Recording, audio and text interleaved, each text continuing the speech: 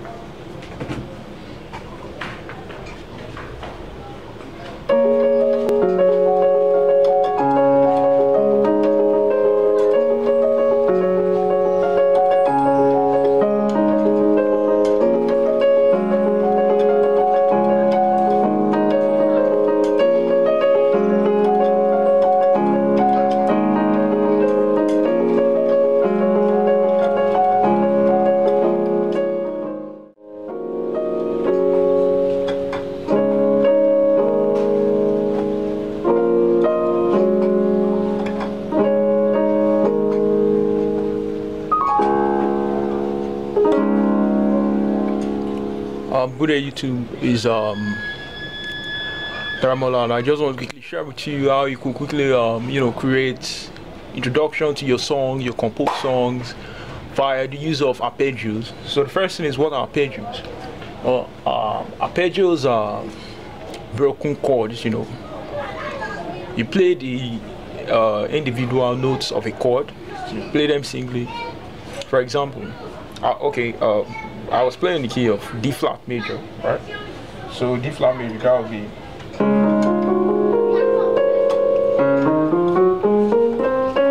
Right?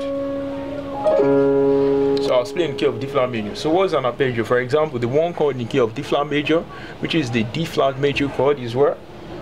The D flat triad. D flat major triad. So if I were to play an arpeggio, I would do this rather than play straight up the D flat major triad as this, right?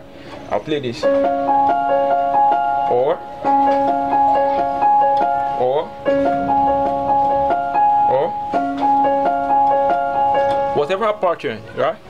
So so long as I'm breaking down, uh, uh, breaking up the notes of the chord, I'm playing arpeggios. That those are what arpeggios are, right? So what what did I?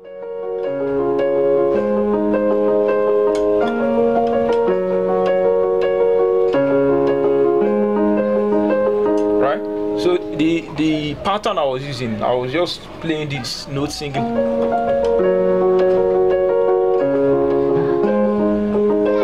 i was going the five five three one five three one you know the five is your pinky your three is your middle finger and your one is your thumb so i was going five three one five three one five three one five three one five three one five three one five three one five three yeah that was the pattern i was using i might decide to go um, one, three, five, right? As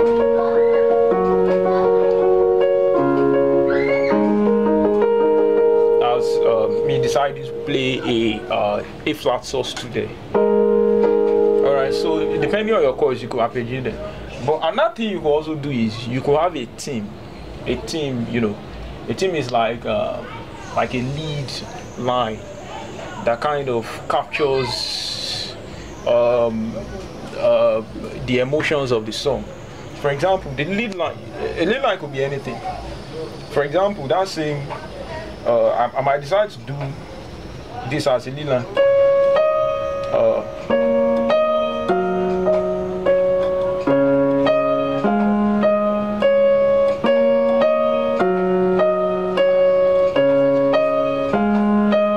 still on the six the four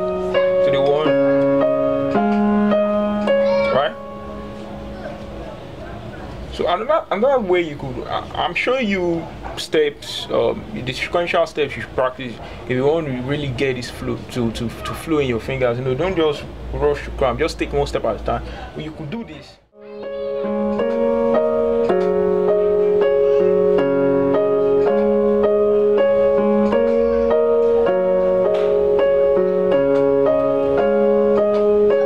So what was I doing? I held the chords and I was playing the say the lead line, right? So right, so to the one, so I'm on the six, the A minor chord, uh, B flat minor chord, sorry. You Again. I go do this here. But when I'm playing this, I'm adding the nine. So this this will be the name chord I'm playing. G flat, fire, uh, G flat, uh, G flat major nine. Yeah. So uh, G flat major nine is, is, is, this with this, but I'm playing the the A flat right here down. So we have this. Um, but then I voiced it this way. I play the um, G flat down, uh, right to the one. Then yeah. So you get that. I keep holding the chords, but then playing the lead line. That's that's another way you could do it.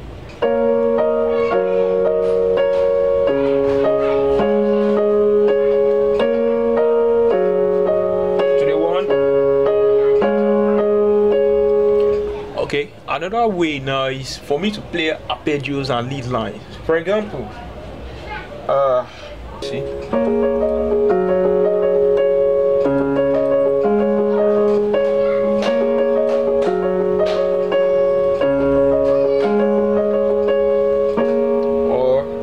To the minor minor triad. Okay.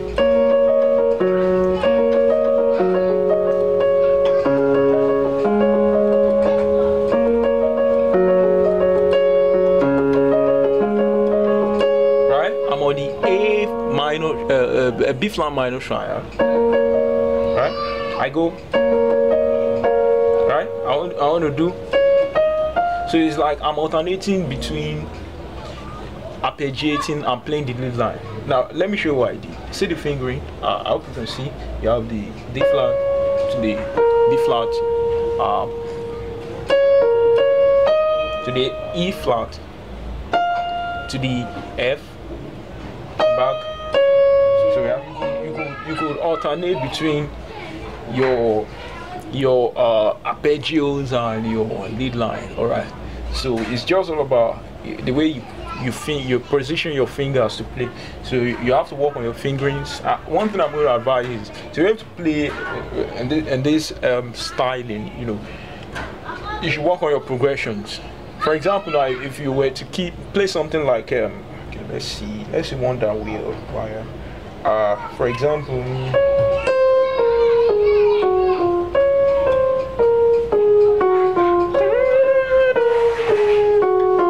Progression.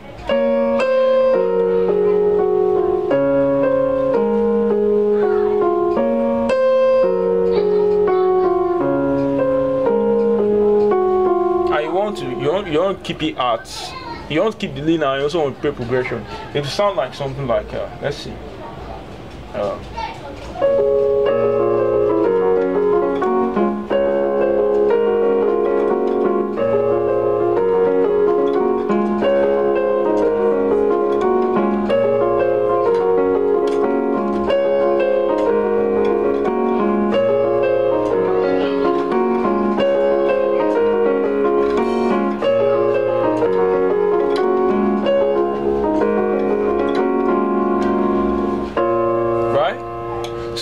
So, uh, that, that uh, uh, the, the the the lead line was still maintained. So I have a problem with it. Anyway.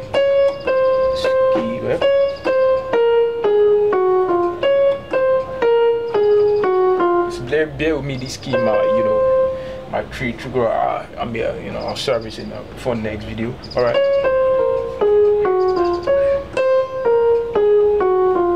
Alright. So I, I did So so and another thing is sometimes you might have to change the chords you you you arpeggiate, right? Depending on on the the way the melody line is moving because there are there are some certain chords that are much more convenient to get at than others. For example, I, I did this. right? I covered this concept in uh, I think one of my li- later video. I think on iLife, yeah. You could you can you could harmonize your melodies by keeping by inverting chords. Yeah, you, you could invert just basic triads. You can invert. It depends on you know your vocabulary of chords. You can invert whatever chord to give you that particular uh, sound you want, but always keeping the melody on top. So. Hmm? right and the chords i chose for for my uh, harmonization was this. The D flat major triad, first inversion, the A flat uh, major triad, the uh, third, uh, second inversion, second inversion of the G flat major triad, right? And then I, I went to the uh, D major uh, uh, triad roots. I went to the uh, first inversion of the G flat uh, major triad, to the uh, first inversion of the D flat major, uh, second inversion of D flat major triad, right? So again.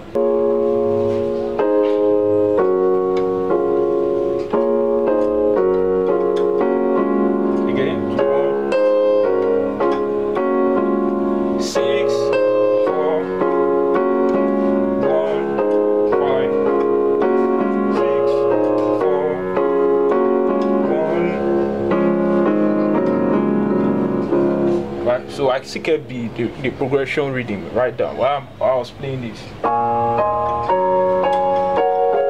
try to use open chord uh, voices rather than the block. Open voice just for the for these inversions I've chosen. You just leave out the middle notes. That's the open voice voicing of of the chords I played earlier.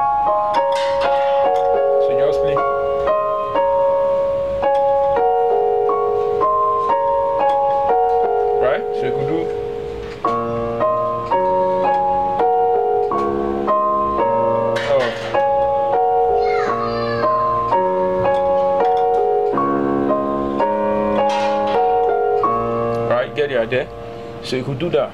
Now i was i was arpeggiating and playing the melody lines the, those oh. right? So right? Arpeggiated the one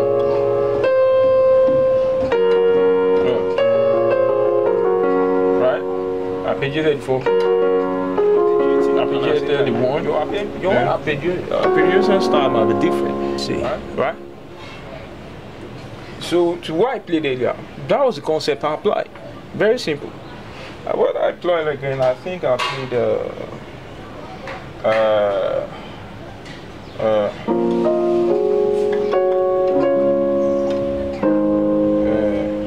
yeah, yeah, yeah. I did, I did, um, yeah, I did.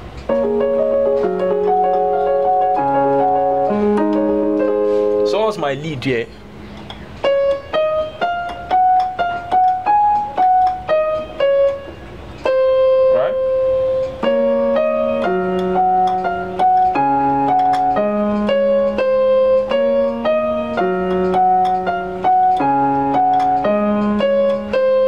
arpeggiating. What I showed you earlier.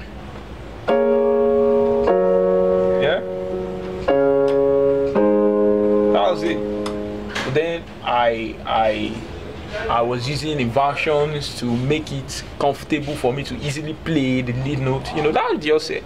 You know, I just used the appropriate inversion. I'm still keeping the chord structure. Six, four, one, five. I'm just using the appropriate inversion that gives me the closest, you know, uh, hit to the to the lead notes, right? So.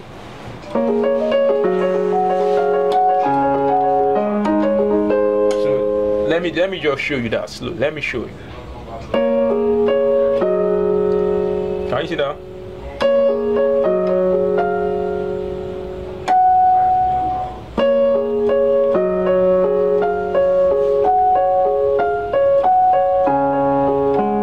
Uh.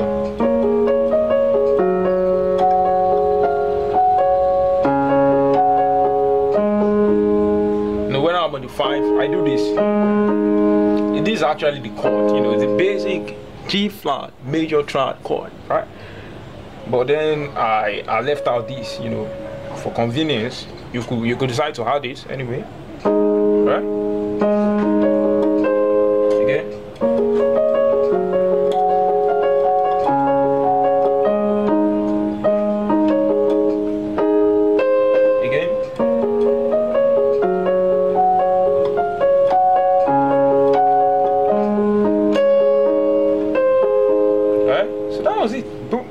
Simple.